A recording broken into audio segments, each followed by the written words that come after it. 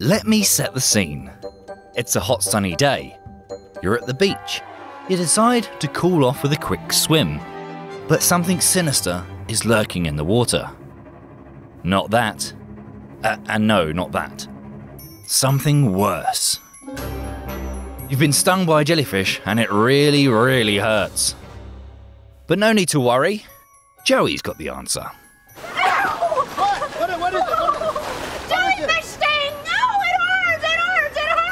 Well, there's really only one thing you can do. What? What is it? You're gonna have to pee on it. Don't blame me. I saw it on the Discovery Channel. If anyone's gonna piss on him, it's gonna be me. He don't like strangers peeing on him. It seems everyone knows that urinating on a jellyfish sting will make it better. But before you offer to pee on any of the 150 million people worldwide who fall victim to a jellyfish sting every year, let's find out if there's method in the madness. There are approximately 4,000 different species of jellyfish. Some have tentacles just a few millimeters long, while others are equipped with massive 50 meter long appendages. It's these tentacles, big or small, that can leave you in a whole world of pain. Each one is covered in thousands of cells known as cnidoblasts, which have something called nematocysts inside. These are basically tiny harpoons packed full of venom and are triggered by touch. Once they've been set off, they can penetrate human skin in 700 nanoseconds. That's about 500 times faster than you can blink your own eye. Basically, there's no escape. To make matters worse, you could end up writhing around in agony with red whiplash like marks and blistering all over the affected area. A few of you could even die.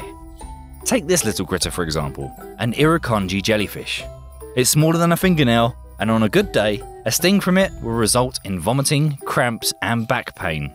On a bad day, you're looking at fluid on the lungs, a brain hemorrhage, and 30% of the time, some kind of heart failure. And you've got roughly a 20% chance of ending up on life support. Unsurprisingly, peeing on it won't save your life, despite what you may have learned from friends or the internet. In fact, urinating on a jellyfish sting is more likely to make it worse. And here's why. These venom packing nematocysts can be triggered by a change in the balance of salts inside and outside of the cnidoblast cells that house them. Urinating on the affected area simply dilutes the salt levels outside of the cnidoblasts, unleashing the nematocysts and releasing more venom. So, not only are you now covered in pee, chances are you're in more pain now too. Thing is, jellyfish stings can be more than just painful, as people down under know all too well. According to the National Science Foundation, at least one person dies every year in Australia as a result of being stung by a jellyfish. One local critter, the Chironex fleckeri, is particularly lethal, and its sting can kill a victim in just three minutes. But the lifeguards in Oz have a secret weapon to help those in mortal danger, and the weapon is vinegar. Yep, you heard me right vinegar. According to various studies and doctors, vinegar helps to deactivate the nematocysts that haven't fired, thus stopping more venom entering the body. Normally, this is where I'd break down the science for you, but no one really knows how the vinegar works. Back in 2011, Dr. Lisa Ann Gershwin, director of the Australian Marine Stinger Advisory Service, admitted as much. She said, We don't know exactly what's going on chemically. So, as to why it works, it's a mystery. It's a fluke that we even found out, but it does work, and it works better than anything else ever tested. According to Gershwin, vinegar prevents about 90% of jellyfish venom from entering your system by shutting down the remaining nematocysts. However, in 2014, researchers studying box jellyfish found that while vinegar does deactivate any unfired nematocysts, it also stimulates the ones that have already harpooned you into releasing more of their venom, around 50% more.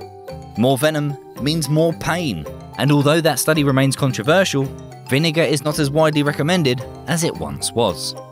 So, what's the safest thing to do? First, try and deactivate the nematocysts that haven't fired yet. If you don't trust vinegar, then washing the affected area with salt water can help. Remove any tentacles stuck to your body. Probably worth wearing gloves or using a stick when doing this, since even the tentacles of a dead jellyfish can still sting you from beyond the grave. Now pull out a credit card, maybe even a seashell, and run it over the affected area. This should remove any of the nasty nematocysts on the skin. Then you just have to wait it out. Most of the time, popping a painkiller will do the trick, But if you're having difficulty breathing or having chest pains, then call an ambulance. Oh, and make sure you end up calling a doctor if you get stung on the face or the genitals. Otherwise, things could get really nasty. So, don't pee on a jellyfish sting and don't get health advice from a sitcom, no matter how popular it might be. I hope you learnt something new, and if you liked what you saw, then we've got plenty more on the way. If you haven't already done so, then subscribe, and then you won't miss out on any future videos. If there's any myths or misconceptions you want us to debunk, please put a suggestion in the comments below. Thanks for watching.